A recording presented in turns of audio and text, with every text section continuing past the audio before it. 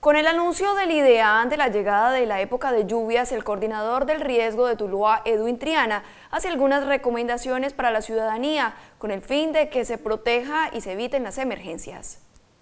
Bueno, según el IDEAN, el comportamiento que se ha venido presentando pues es digamos que eh, un punto de transición entre el verano y el invierno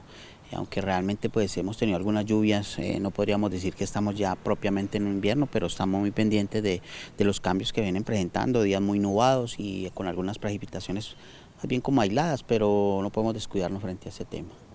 ¿Qué recomendaciones de pronto le da a las personas de las altas montañas, de pronto que vienen a los lados de los ríos, con las crecientes?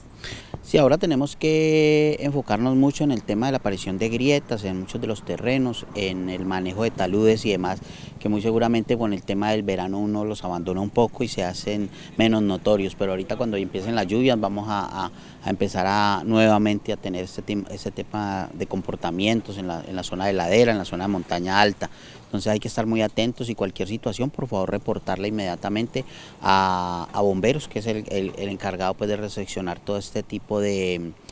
de, situaciones en el 119. Bueno, y según el IDEAN, ¿hasta cuándo más o menos va pronosticadas estas lluvias? A ver, según eh, pronósticos pasados se había dicho que el tema del verano se iba a extender este resto de meses, como lo estamos viendo, aunque hemos tenido, como te digo, lluvias aisladas, pero muy seguramente entrando el próximo mes vamos a tener ya eh, como comunes en, el año eh, la temporada de invierno.